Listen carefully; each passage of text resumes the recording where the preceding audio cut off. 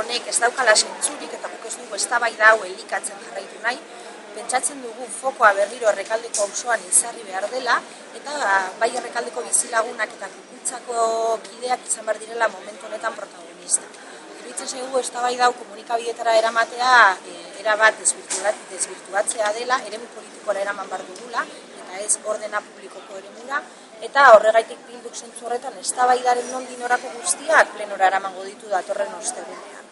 E, horretan gura postua ostegunari begira da e, gaiaren inguruko valorazio eta e, ardura politikoak eskatzearena, zentzu horretan alkateren dimisioa eskatuko dugu, baina baita ere aurrera begiratzen dena. Kukutzan gertatu dena, rekaltuko auzoan gertatu dena, berriro gertatu ez dadila, horren aldeko lan egingo du bilduk hemenik aurrera, horregaitik eskatuko dugu alde guztien mai baten osaketa eta udalak berta ere parte izatea eskatuko dugu.